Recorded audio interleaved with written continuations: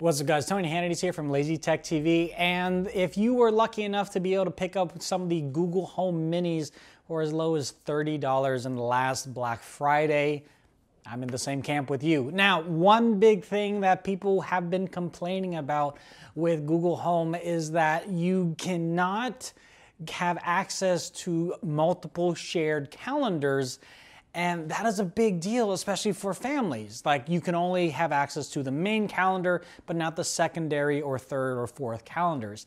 That is no longer the case. So I'm gonna show you guys how to do that right now. You open up the Google Home application itself. You click on the hamburger menu on the side, swipe down so you go to more settings. Then it's gonna pretty much bring up everything that is relating to you and your Google Home experience.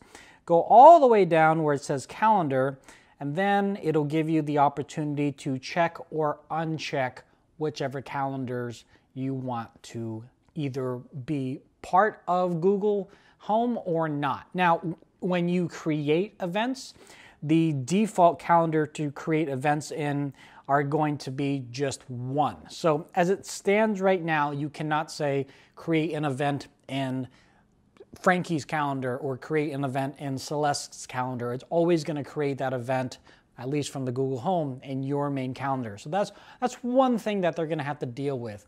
But as it stands right now, having the ability to listen to shared calendars is finally here, and this is pretty much what it sounds like. Hey Google, tell me what my calendar is tomorrow. There are three events tomorrow.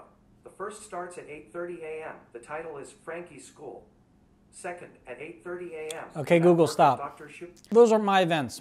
How do I know that? Because I personally don't have anything scheduled for tomorrow yet. I need to do that later on tonight. But that's how you go about doing that in the Google Home app. If you guys have any questions, please let me know in the comment section below, and we'll talk to you in the next one. Late.